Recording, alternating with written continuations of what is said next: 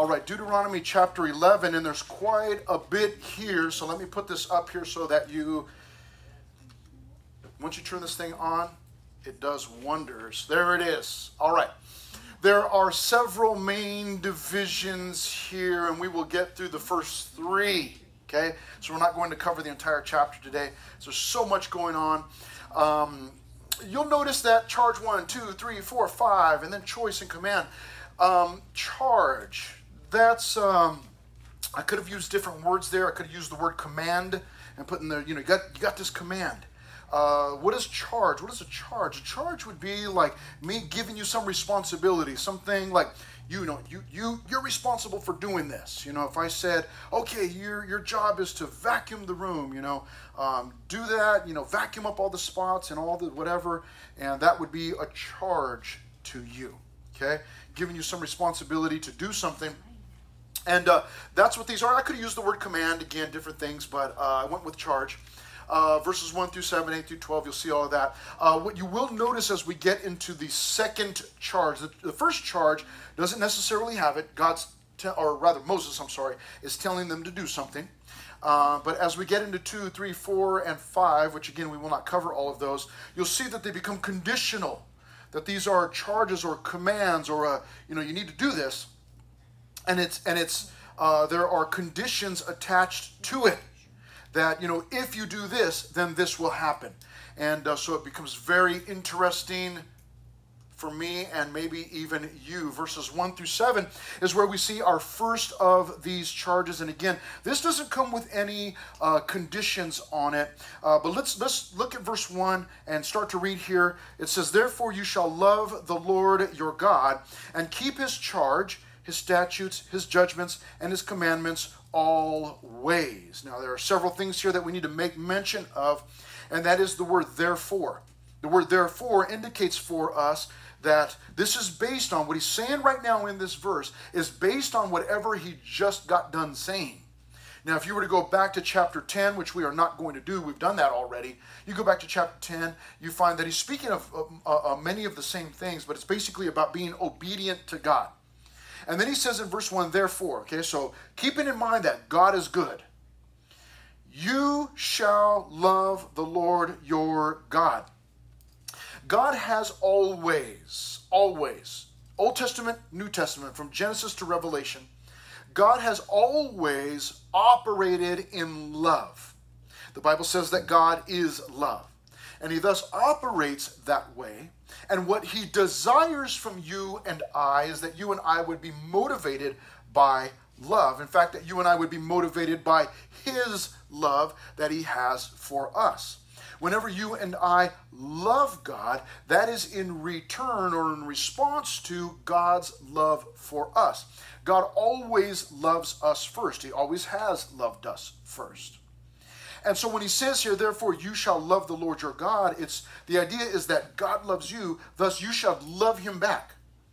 Now, it's also important to note that because of that God desiring love and we, he wants us to be motivated by love, it's important to understand that, that this is the way it has always been with God.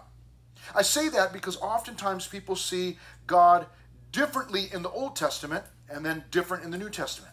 In the Old Testament, he was grouchy and he was mean and he killed people and he commanded things. But in the New, New Testament, there's Jesus. And he's kind of this, you know, uh, gentle, you know, tanned uh, hippie guy walking around the countryside. And, you know, he's just so gentle and sweet. But God has not changed at all. God has always been the same. And God has always uh, operated in love and always been motivated, wanted us to be motivated by love. Now, this introduces for you and I, there is a biblical principle here that you and I want to pay attention to, found in verse 1. We've not even gotten to verse 2 yet. Verse 1, therefore you shall love the Lord your God. Okay, got that. I need to, I need to love God. I, that's what I need to do. You shall love the Lord your God and keep. Okay, so there are two main words, and there are lots of, um, or key words, I should say, lots of key words in these verses. But here's the first, the first two of many, and that is in verse 1. The first key word is love. Okay, love. Whatever we're doing to or with or for God must be motivated by love. Secondly, goes hand in hand, is the word keep. That introduces or, or, or implies for you and I the idea of keeping or doing. When it says to keep his charge, his statutes, his judgments, his commandments always. And, and by the way, the word charge and statutes and judgments and commandments, those are just all the different ways to hear from God. Those are all the different ways that God speaks. Uh, it might be a charge. He's given us some responsibility. Do this thing. Statutes. That's something that's officially, you know, from him. It's written down, and now it's law. Statute. His judgments. Okay, those are the things that he's decided. And then his commandments, of course, we know what those are. There's 10 commandments, there are other commandments. But those are all just different ways of hearing from God. And what he says here is love the Lord your God. And the word if is not in there, but you'll understand it in just a minute. If you love the Lord your God, then you will keep his charges, his statutes, his judgments, his commandments always. Here's, here's the, the, the, the principle that I want to make sure that we not miss to, uh, this afternoon. And it is this that if you love, then you will do. If you will love, then you will do. If you love, then you will give. Jesus reiterated this for us when he said in John chapter 14, verse 15, he said, If you love me, keep my commandment, commandments. John 14, 15. If you love me, keep my commandments. In other words, Jesus was essentially saying there, if you love me, show me. Now, this is a biblical concept. That if we love, then we will do or give the world, the reason that I'm slowing down to talk about this is because it's specifically because I am talking to a room full of teenagers. And when there is a, uh, when there are teenagers involved, relationships uh, are a high priority, perhaps the highest priority. Whether that be a friendship relationship or whether that be a boyfriend girlfriend relationship. Relationships are a high priority. Everybody wants a relationship. Some of you desire a relationship, a really good relationship with a good friend. Some of you desire, maybe all of you, you desire a relationship with a boyfriend or a girlfriend, some, someone of the opposite gender. Nah, not me. not maybe not now. Maybe not now, but at some point you will. Unless unless you've been called to singleness like Paul and you're just like, hey, I don't need nobody, man. I'm serving the Lord the rest of my life. Forget all that drama. But the majority of people in here are going to want some, you know, a relationship like that, friendship or more. And it is, it is, it would behoove you. That means it is extremely important for you to pay attention to this, and that is that people will come along and they will say to you three magic words what are those three magic words? I love you. Right? They'll say, I love you. And they will throw that out there because it's easy to throw out. It's easy to say to somebody, I love you. Right? However, what you need to do is you need to be able through all of the excitement and the emotion of hearing those words, somebody other than my mom loves me. Because you know that your mom loves you. Know that your dad loves you. You know, your, your grandma tells you, I love you, mijo. You know, you already know that. It's like, okay, that's great. Thank you very much, grandma. I love you too. But somebody new comes along and he smells great. Or she's really, really cute and that individual says to you, I love you, what will happen oftentimes is the emotions go wild, man, and you're just like, whoa, they said love. I'm, I'm, I'm all about it. Like, yes, yes. What you need to be able to do is you need to be able to grab the reins, okay, those of you that ride horses, grab the reins. You pull on those things, pump those brakes, man. You slow it down. And what you want to be able to do is to evaluate and say, wait a minute, this individual said that they love me. I love you. I heard it. But then I'm going to take myself back to Deuteronomy chapter 11 and go, wait a minute. God set something up here. Therefore, you shall love the Lord your God, Moses said, and keep, shall do. If you love the Lord your God, then you will do something. Now, in this case, it's to be obedient to, the, to, to God's word. But the principle is there that if someone loves you genuinely, okay, if they love you, then what they will seek to do is to impart into your life. They will seek to input into your life. They will seek to give to you. They will be looking for ways to serve you. Why is that such a big deal? Because the world has a different definition of love. If I in the world say, I love you, what that does is that becomes a key. Put it in the lock, unlock someone's heart, and then I'm able to look around and take all that I want from that individual. And the majority of people in the world today that are not Christians, but even lots of Christians do this. They say they love one another. I love you, I love you, I love you, I love you. And yet, what they actually mean is, I want to unlock so that I can take what I want. I want to unlock that treasure chest so I can, I want to get what I want. And the majority of people in relationships today are looking for what they can get out of the relationship. However, the Christian biblical worldview is looking at the relationship to see what I can put into it. And that is always going to be the case. And it's a good measure, it's a good, it's a good guide for you, it's a good ruler for you to look and go, wait a minute, this individual is telling me they love me, but they keep borrowing money from me. Like what, what's, what's they keep taking.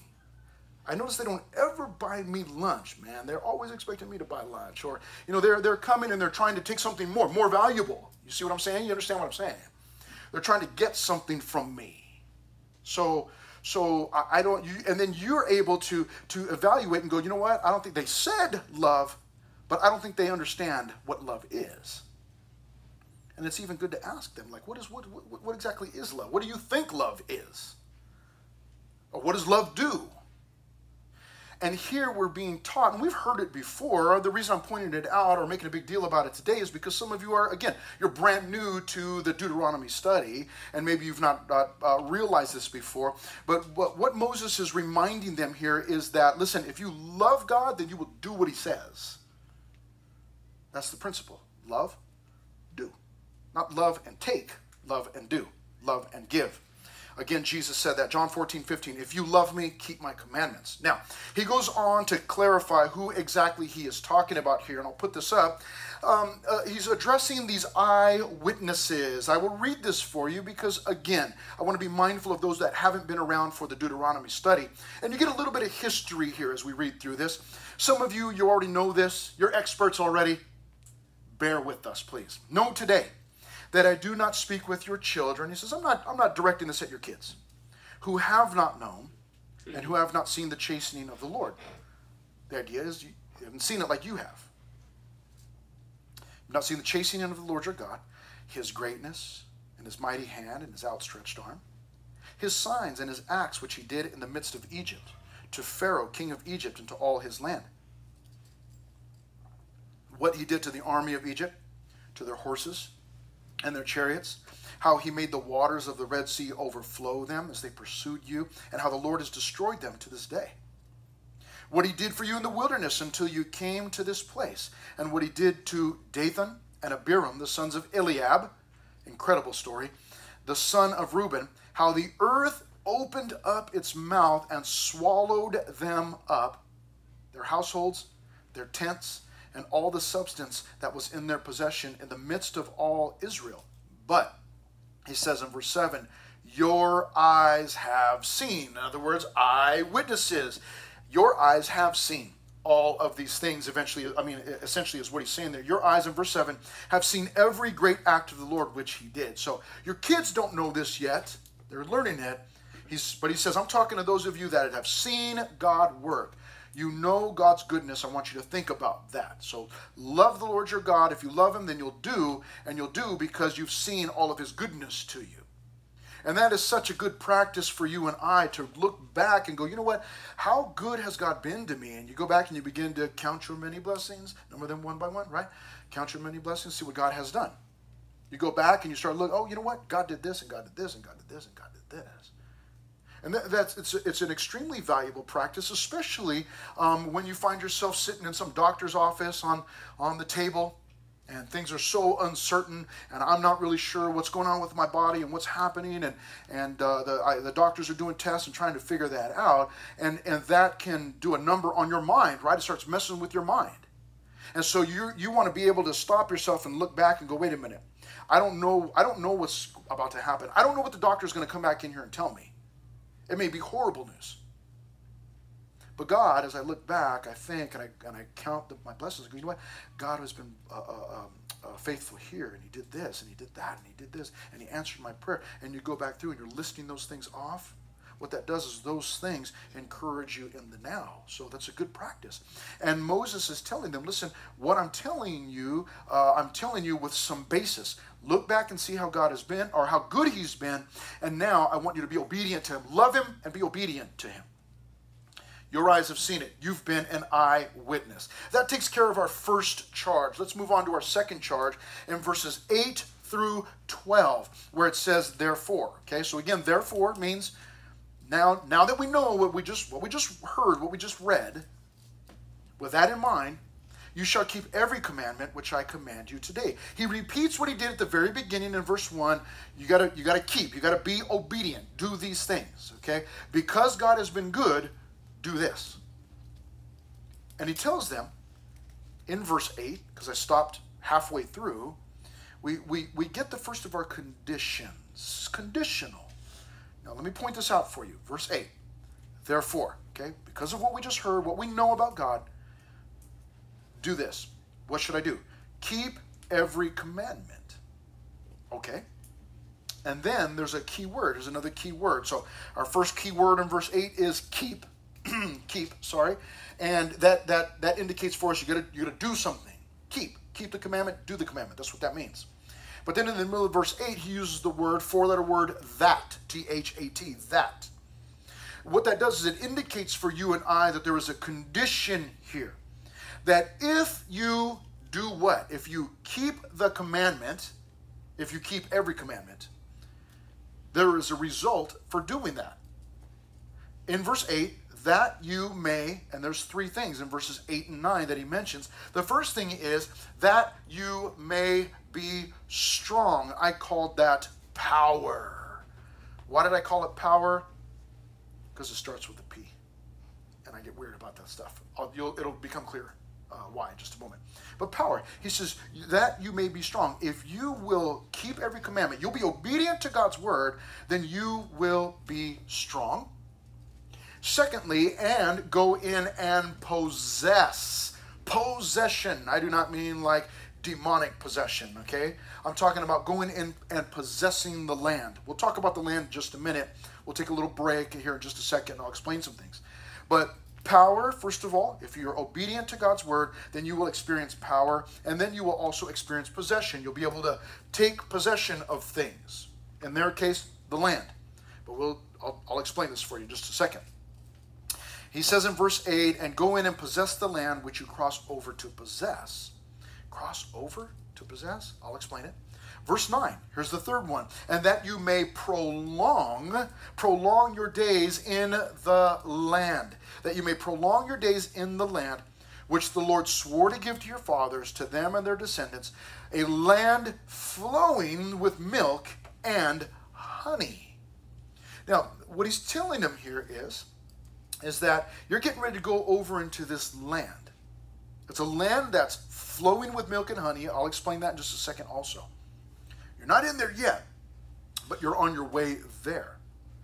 Now, let's stop for a second so that I can explain some things to you, especially to those of you that haven't been here. Um, and then for all of those that have been here, but you were uh, watching YouTube videos last night really late, and now you're falling asleep. And you're going, what is Deuteronomy? And what is the Bible? And what is a commandment?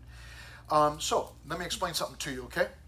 So um, you got you got the land of you got the land of Israel. Okay, picture this land. Here's the land. Over on the west side, my left, your, our left side would be the ocean. Okay, then you got land, of course, of course, the shore and the land.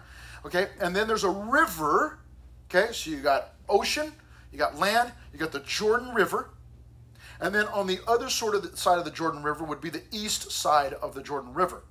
Okay, the children of Israel are on the east side. So east side, Jordan River, west side, ocean. They need to go from the east side. They need to cross over. That's why he said here in verse 8, cross over. The land which you're, you're going to cross over. You need to cross over the Jordan River into the land.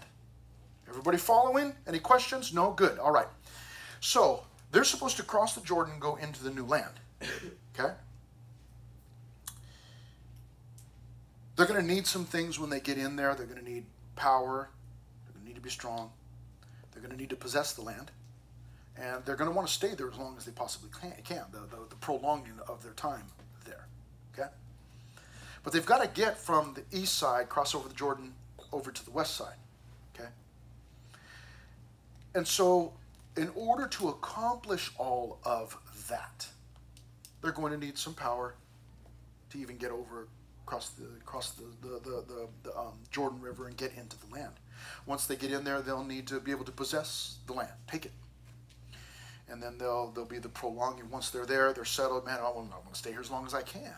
Okay.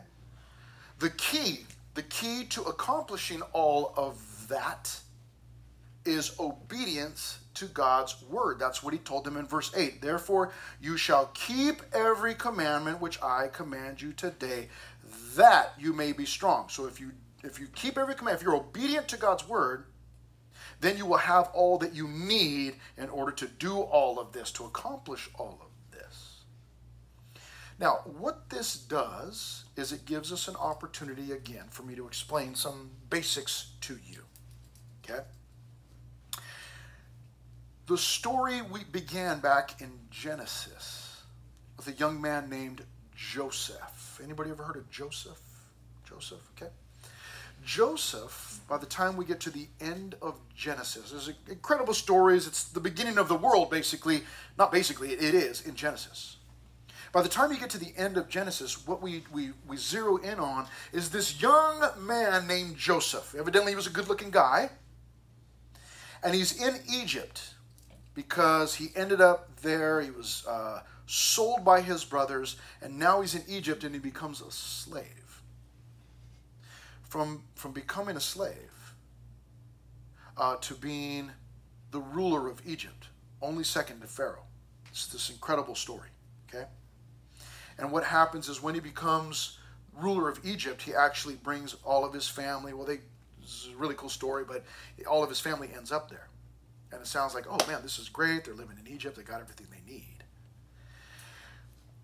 But what happens is you get into Exodus. Okay, so we go Genesis to Exodus. Now, Exodus is the story of exiting. Exiting what? Exiting Egypt. Now it's 300 years later after Joseph. His family has grown and grown and grown and grown and grown. And now his family has actually become slaves in Egypt because there's a new Pharaoh. The new Pharaoh doesn't, it's like, Joseph, who is this cat? I don't know him. And ends up enslaving all of his family. It's like they're, they're these, these, these uh, uh, Israelis, Jews, they're multiplying too fast. And it's time to, we got to do something about this, right? It's like when you have an infestation of, of uh, rabbits. You know how fast rabbits multiply, man, and they're just like getting in your yard and eating all your stuff up. And you know, it's like we got to do something about this. And you start fencing things off or whatever, trying to keep them out. That was Pharaoh. You know, these guys are multiplying too fast. We got to get rid of them. So he enslaved them. And so the book of Exodus is the story of God using this man named Moses to rescue his people from being slaves in Egypt. And he rescues them from, from, from being slaves. Okay? Now that, now this, again, pause for just a second because I need you to understand this. Where are we at so far? Like, we're Christians. We're not Israelites. It's 2023. We weren't there. So what does this really have to do with me? Well, this is what it is. It becomes a picture or an illustration for and of you and I. And here's, here's what this means. The picture of the children of Israel being rescued from slavery in Egypt is a picture of you and I, as Christians, being saved from slavery now, enslaved to sin, enslaved to Satan, and God saving us from that. Now, Exodus, they take off and they're on this journey, right? They're leaving Egypt, they're on a journey. You get into Leviticus, Numbers, Deuteronomy. In, in Exodus, the story is God taking his people out of Egypt. In Leviticus, the story is God taking Egypt out of his people. Let me say it one more time. Exodus is the story of God removing his people from Egypt. Removing his people from Egypt. Leviticus begins the story of God removing Egypt from his people. They had been there for so long, they were slaves, that they, Egypt was ingrained in them. They were at the bottom of Mount Sinai. They're waiting on Moses. Moses is up there getting these two tablets called the Ten Commandments. The people were all down below they got frustrated. They said, Moses has been gone way too long. We need to do something. We need to get out of here. We need to get, make us a God to lead us back to Egypt. See, Egypt was so ingrained in them that their first thought was, we need a God to lead us back because that's what they did in Egypt. They had gods for everything. Okay? So for you and I, the story is Exodus, God. A picture God saving me from sin. Leviticus is the picture of, or the story of, God removing that sin from my life. He's given me a new way of life. And Leviticus and Numbers and even Deuteronomy, what's happening is that God is training his people. That's the story. Just like your dad would teach you how to tie your shoes or teach you how to put your slip on bands on. Just like your dad would take you by the hand and teach you how to walk, one step at a time, one foot in front of the other. Just like your dad would teach you how to brush your teeth, how much toothpaste to put on there. Brush it like this small circles, be gentle. Just like your dad would teach you how to go to the bathroom how to clean up after yourself, how to cut your steak, how to use a fork, how to throw a ball, how to catch a frisbee, how to drive, when to put your signal on, where the gas goes, where the oil goes. Just like a dad would teach you all those things, that's what God's doing in Leviticus and Numbers and even on into Deuteronomy. Okay? And so the picture for you and I is this that God saved us, just like Exodus. And then he begins to teach us a new way to live, the mind of Christ, looking at things differently, doing things differently. That's Leviticus, Numbers, Deuteronomy. We're being reminded of all of those things. Okay? But what about the going into the new land? What about that? Because, see, after the book of Deuteronomy comes the book of Judges when they actually go into the land. What about that? What is what is that? Isn't that isn't that like a picture of us going into heaven? No, it's not. What that is, it is a picture of you and I learning how to completely trust God. What? Yeah. Going to the promised land required faith. Now, they're, they're already rescued from sin, so they belong to God. That's us. But now, as they go into the promised land, the idea for you and I is that you and I would enter into the promised land or into that new land or into that rest, it's called. If you go over to the book of Hebrews, it explains these things for us. I'm just you know, making a long story even longer. What, what, what, what we find out is that when we, you get into the promised land, the picture is that, hey, they, they're entering God's rest. They go there, they don't have to do anything to, to really, I mean, they're, sure, there's some things that they have to do, but the land is all set up. And so the idea is that you and I, what we're learning here is that you and I would trust God implicitly, that we would trust God with our very lives. And in doing that, if we trust God with our lives, then guess what? We experience the peace or the rest of God. That's the picture here. And for you and I, now let's bring it back to charge number two in Deuteronomy 11, verses 8 through 12. If this is a picture of my Christian life and you know what's happening and what God's doing, and then, then where does all this power and this possession, and this prolonging come in? What does all this have to do with me? I'm glad that you asked. The power we need. In order to go from this side of the Jordan to this side of the Jordan, wait, you want me to cross a river? What? It's going to take faith. You want me to step you want me to step over into what God has for me? It's going to take faith. That means not only am I going to have to cross the Jordan into this new land that I have never been to, but in the process, you're telling me I got to leave that old life behind, that all of that over there? Yeah, it takes faith for me to leave all of my old life behind and follow God into the rest, into the peace, into all that He has for me. It, it, it, it, requires faith. I have to do. I have to. I have to not only step forward, but I have to let go of whatever's behind me.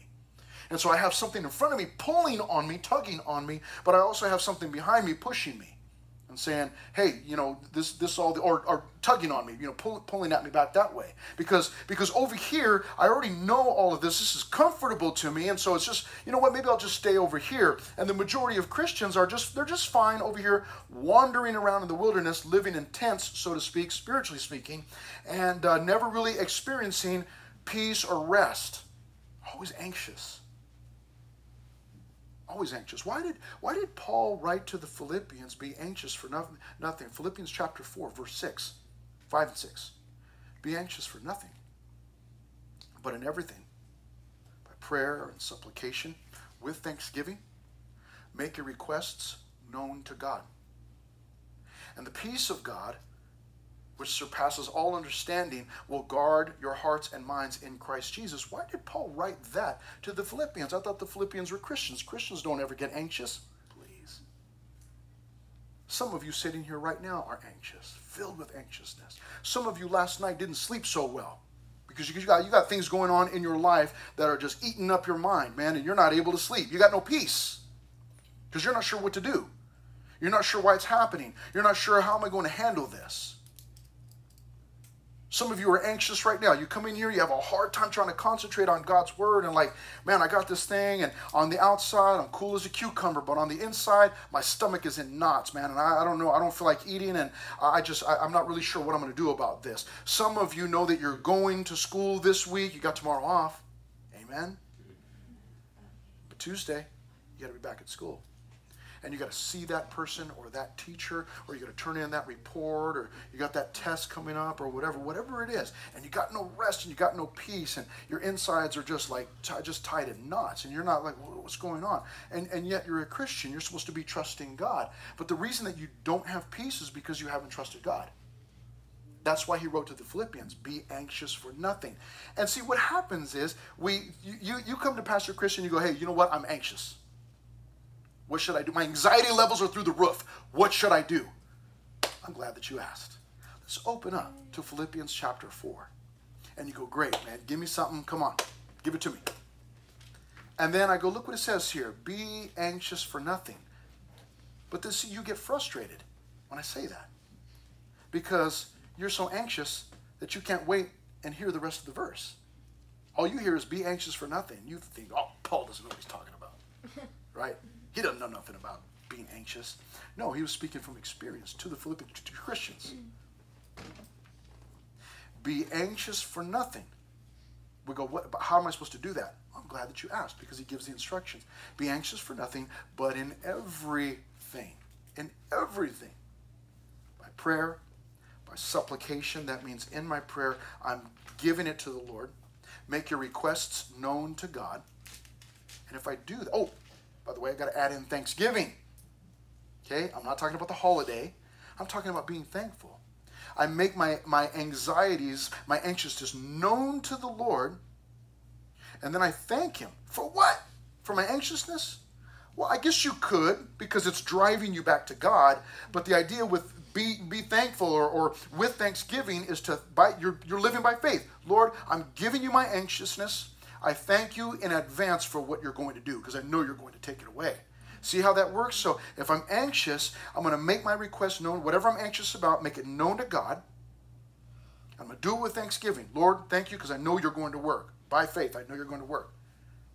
And if I do that, then it says the result is, and the peace of God, which surpasses all understanding.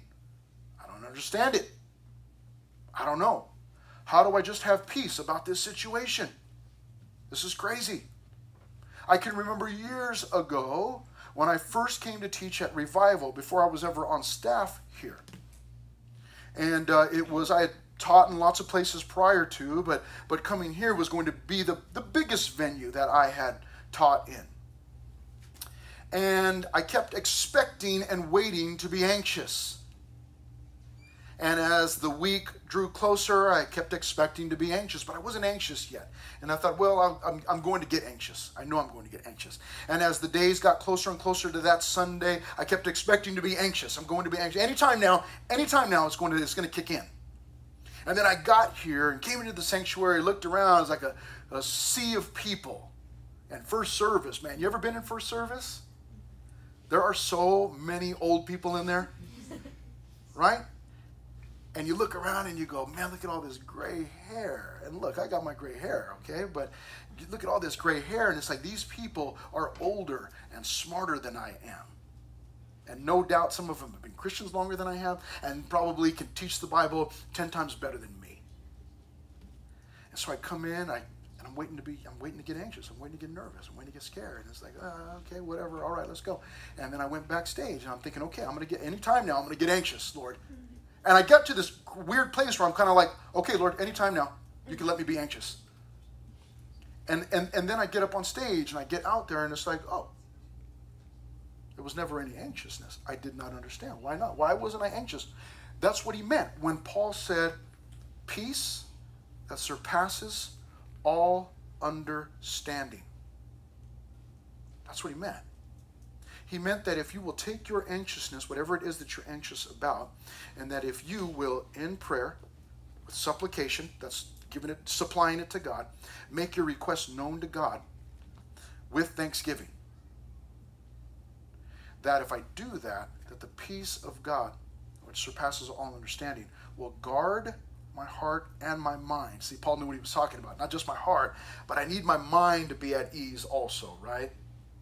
Because I can fall asleep, you know, my heart's whatever, you know, thinking of whatever, whatever, but my mind, man, my mind, right? Your mind can just keep you up all night long, like Lionel Richie, right? Keep you up all night long and you're just going crazy. But he says, no, if you do this, then you'll have peace in your heart and your mind. It'll guard your heart and mind. And you'll be able to rest. Now, all of that craziness that I just explained to you, that's what we're talking about here. Uh, all the way back to Deuteronomy chapter 11, that's the idea. Is that the people are getting ready to go into the promised land, but they got to trust God, man. But if they trust God, if they trust God, if they cross over that Jordan, they're going to get power. They're going to be able to possess the land, and they're going to be able to stay in that land for a really long time. That's what I want. I cannot lose my salvation as a Christian but I can't lose my peace. And the only way to lose my peace is to give it away. I give it away.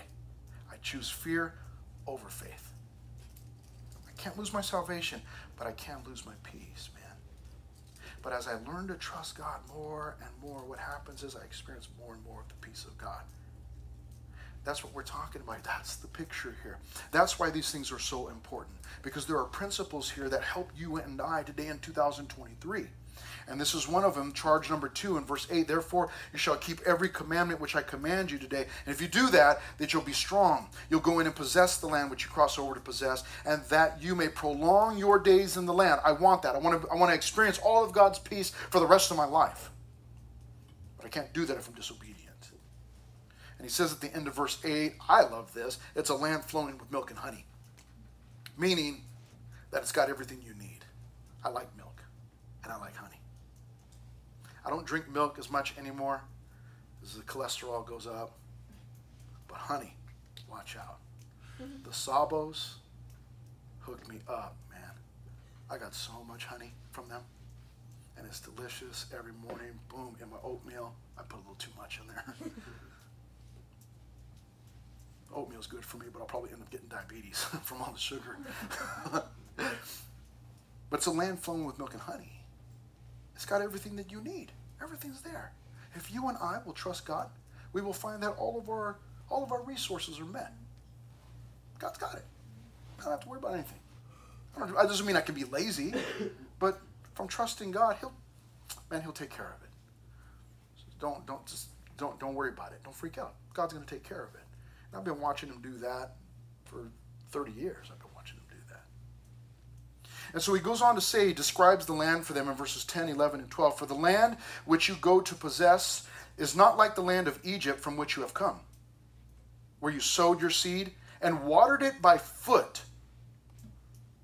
It was a vegetable garden. What he means by he, he either means that they had to walk their water to each spot and you know you you you water each plant or whatever, or he could be referring to water pumps. They actually had water pumps in ancient Egypt that they would operate with a foot. They would pump that thing and would pump water from the Nile over to their crops. Pretty incredible. But either way, what he's saying is you had to work for it. You had to work for it. Okay. Have you ever had a garden? Anybody got a garden? Anybody got? Yes, there you are. Right? All the godly people right there. If you've got a garden, you know it's it's hard work. It's hard work. Okay? He says, it's not like that. Verse 11, but the land which you cross over to possess, the land that you're going over into, is a land of hills and valleys. That's a good thing. It's got hills, it's got valleys, which drinks water from the rain of heaven.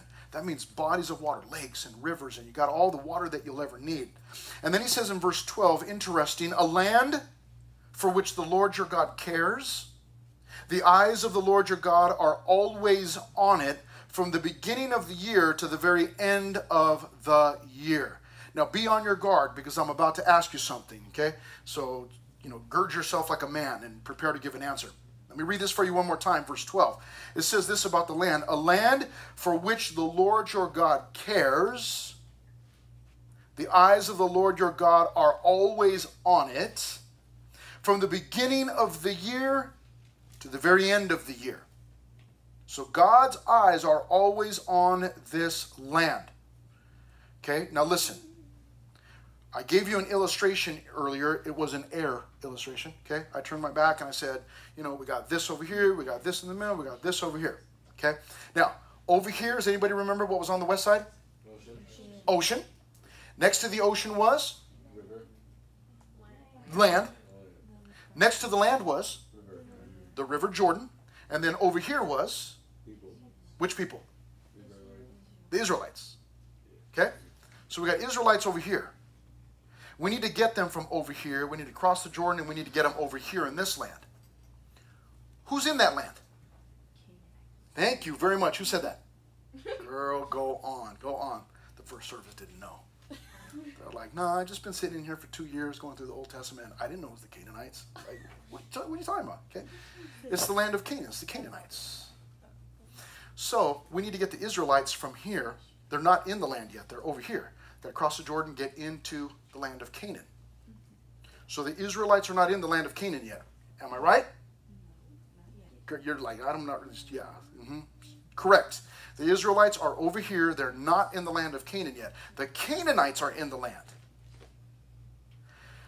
Which makes it all the more trippy when you read verse 12, because it says he's talking about that land where the Israelites are not there yet. He says it's a land for which the Lord your God cares. The eyes of the Lord your God are always on it. from the beginning of the year to the very end of the year.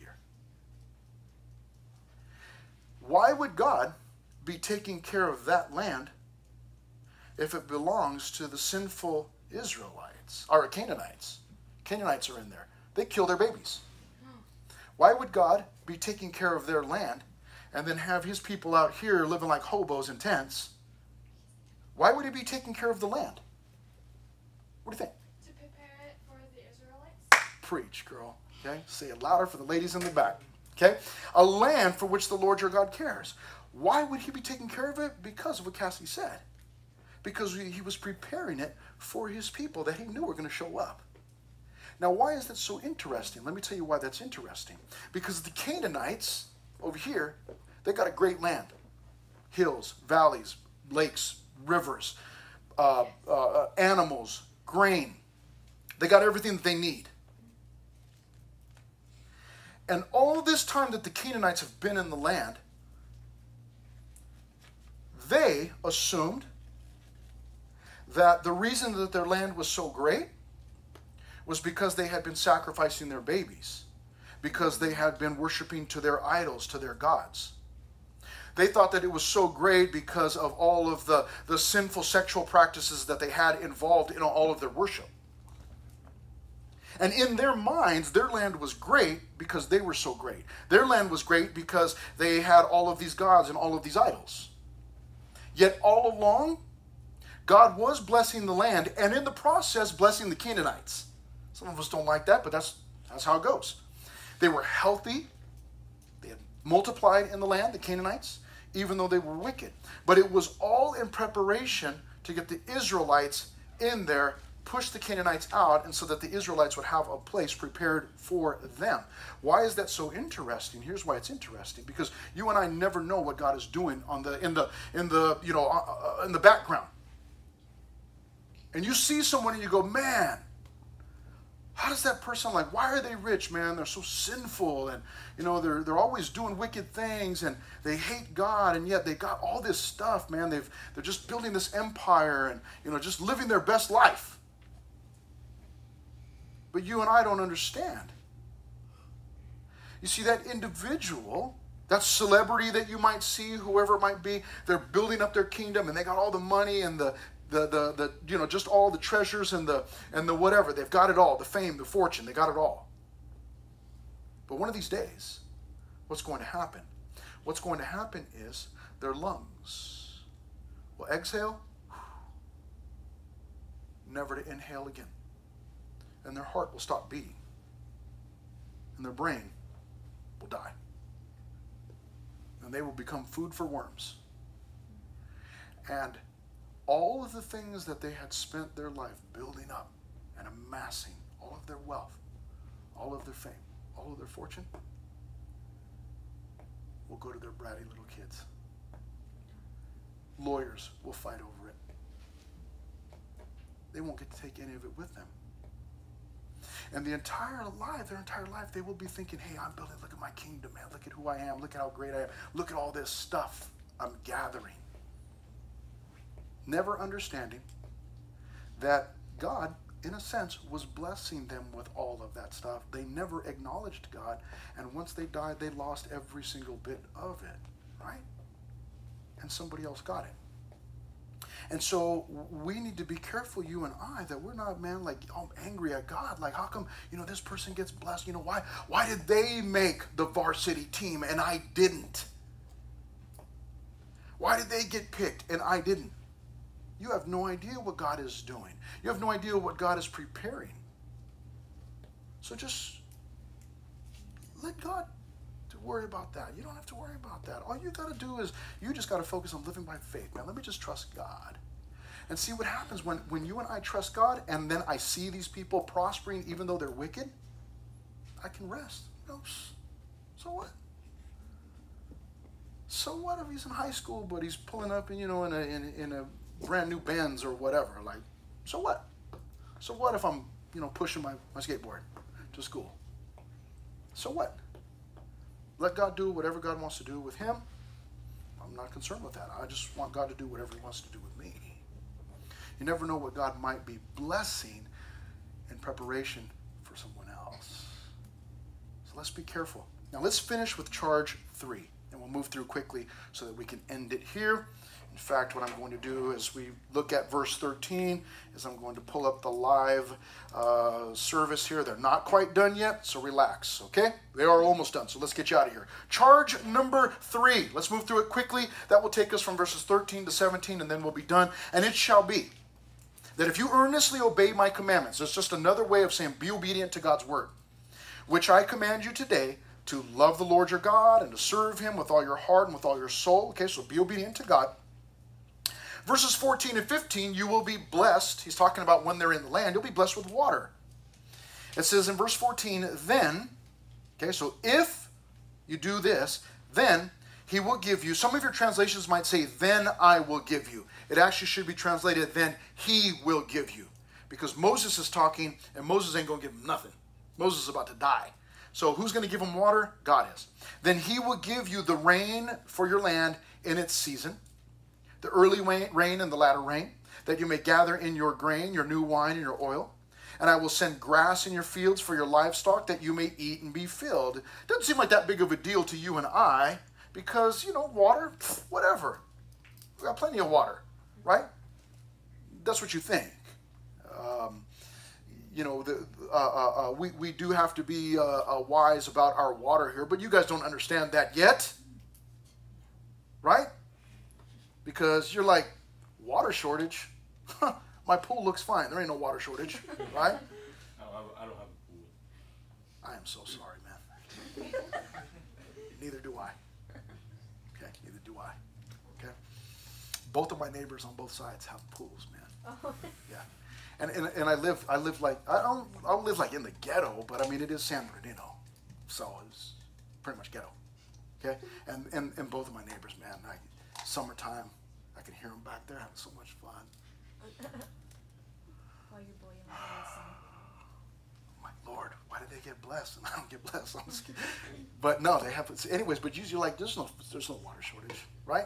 You go in the shower, turn the knobs. There's right. You're like there ain't no water. Shortage. I took a, I took a 45 minute shower. There ain't no water shortage, right? You don't really understand. Okay but it's water's water's is precious. And for them, obviously, being in that type of place where they can't just turn on sprinklers or whatever, listen, they, they were depending. And what God is saying is, if you if you're obedient to me, I'm going to hook you up with rain. I'm going to give you rain. And that rain will do what? It will, you know, you'll it'll cause your grain to grow. Your new, you'll get wine from the grapes. You'll get oil from the olive trees because of the water. Verse 15, check this one out. And I will send grass from the water, causes the grass to grow, right? I will send grass in your fields for your livestock that you may eat and be filled. Okay? Unless you're a vegetable-arian, sorry. But God is saying, look, man, you're going to have, I'm going to hook you up with rain. You're going to get grass. The cows are going to eat. They're going to get big or goats, you know, maybe like birria, you know, whatever. Your animals, they'll grow and then you're going to eat well. You're going to be filled. Okay? You're going to be filled. All that from being obedient to God, if you're obedient. However, he finishes with a warning, and that's what we'll finish with. Kind of a sorry note to end on, but it is something to, to keep in mind. Take heed to yourselves, lest your heart be deceived, and you turn aside and serve other gods and worship them lest the Lord's anger be aroused against you, and he shut up the heavens so that there be no rain, and the land yield no produce, and you perish quickly from the good land which the Lord is giving you. Pastor David Guzik said this about this passage the constant need for rain kept Israel in constant dependence on the Lord. It is good for us to have things that keep us in constant dependence on the Lord. We should never despise those things and long for the day when we will no longer need to depend on God as much. In the book of Haggai, we won't turn there, but just relay it for you real quickly. In the book of Haggai, the, there's, it's only two chapters. It takes you about 10 minutes to read. I suggest you read it. You could, I mean, instead of going through TikTok while you're on the toilet, you could read the book of Haggai. Okay? Let's just be honest, right? Read through the book of Haggai. And what you'll find is the first chapter of Haggai is all about God literally saying to them, You produced crops, and then I blew it away. And you go, Why would God do that? And he says in there, I did it because you weren't paying attention to me. So God, at times, will, you know, blow those things away. And that's what he's, he's warning him here. He goes, if you listen, you pay attention, because if, you, if you're disobedient, then God's going to take away your water supply. Why would God do that? He hates us. No, because he wants to get your attention. And sometimes God will do that. He will take things away from you and I in order to get our attention. So let's be aware of that. Let's be aware of that. If I'm living in disobedience, God begins to remove things, man. To say, hey, hey, you're losing sight. Hey, you're getting distracted. Hey, over here, pay attention. Watch where you're going. Going, you're going in the wrong direction. I'm trying to tell you. Wonderful concept to remember as you and I leave here. Let's, let's keep our eyes on the Lord. Father, thank you so much for today. And uh, we thank